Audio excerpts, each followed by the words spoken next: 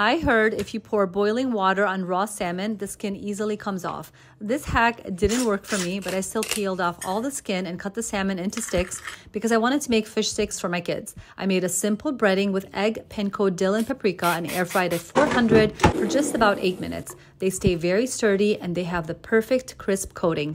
So good.